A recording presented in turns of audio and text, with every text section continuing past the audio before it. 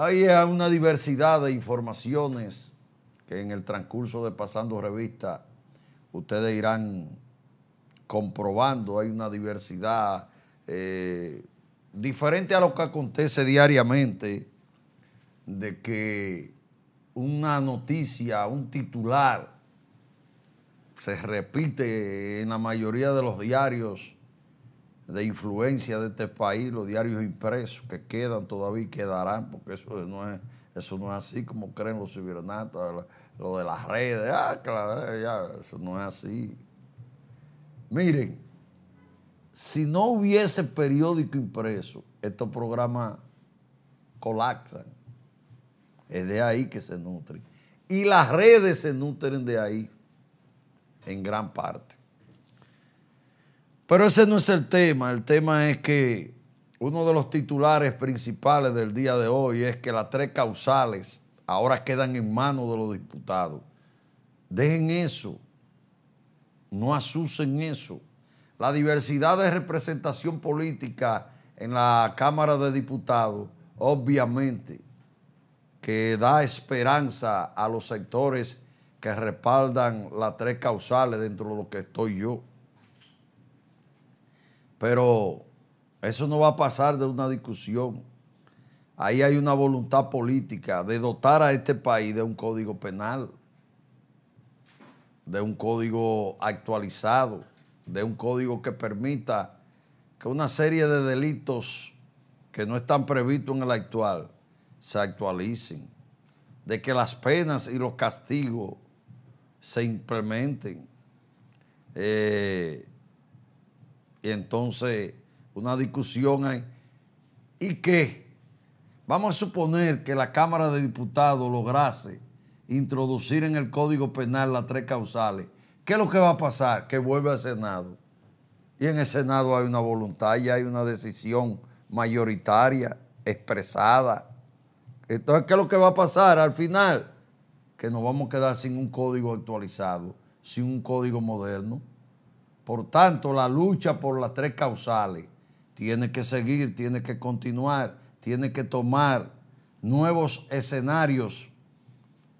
Tenemos que eh, pedirle a los que encabezan esa lucha que busquen otras modalidades. Eh, como la del Colegio Médico Dominicano, no tienen esa posibilidad, no tienen esa herramienta. La movilización, unificar sectores en torno a eso. Es una lucha difícil porque es contra poderes fácticos que se está luchando para tratar de establecer las tres causales. Pero ya no hay posibilidad de meter las tres causales en el nuevo Código Penal. Ya hay una voluntad política de lo que se comprometieron en campaña. En la, en la Cámara del Senado votaron de todos los colores. Y eso se va a replicar en la Cámara de Diputados, porque es una decisión política ya que hay. Dejar las tres causales para poder tener un código penal.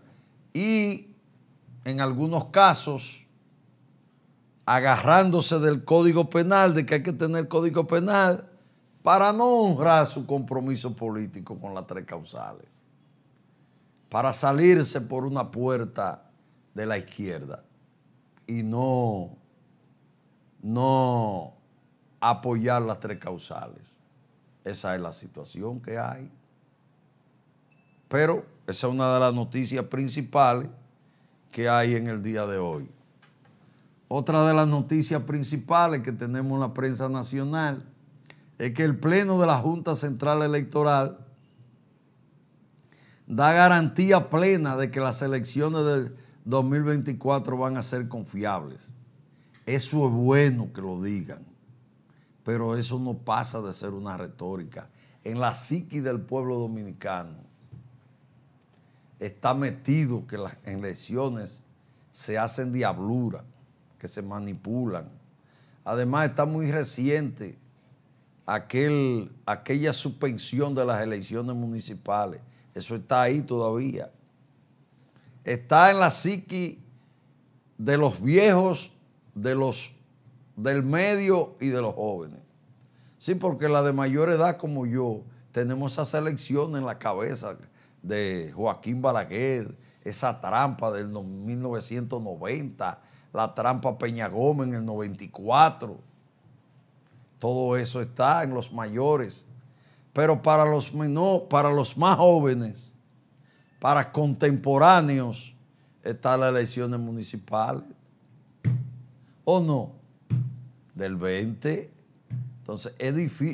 Es bueno que la Junta actual trate de llevar confianza, trate de, de contribuir a que en el imaginario popular se le quite esa visión, esa idea arraigada de que las elecciones se manipulan, que eh, se cuelan diputados que no sacan los votos, etcétera. Eso es bueno, pero tiene que ser una labor más profunda, más concienzuda, que llegue más a la ciudadanía. Esta Junta Central Electoral, la actual que encabeza Román Jaque, no ha logrado a plenitud la confianza, la credibilidad, la seguridad de la ciudadanía. Y eso es heredado, eso no es, eso no es nuevo, eso es heredado esa situación. Heredado de las acciones del pasado, de lo que ha acontecido en el devenir histórico de esa Junta Central Electoral. Reitero, todo lo, todo lo que vivimos en el 90 y el 94, tenemos esos, y no, y, no, no nos vayamos más para atrás. Dejémoslo ahí en el 90 y en el 94. Y hacia adelante la del 20.